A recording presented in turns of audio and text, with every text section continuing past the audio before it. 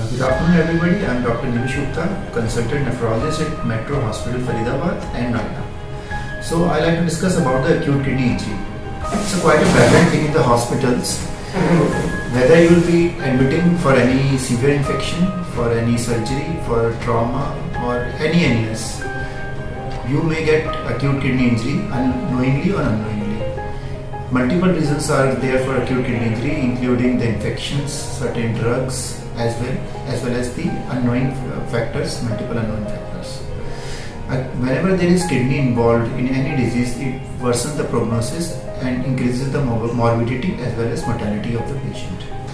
So, staying vigilant about your kidney part is very very important. You you should discuss with your doctor and should ask whether these drugs are going to harm my kidney or how, how safe these drugs are. So by staying vigilant and by constant monitoring of the kidney functions, we may able to prevent and uh, give the good results to the patient admitted in the hospital.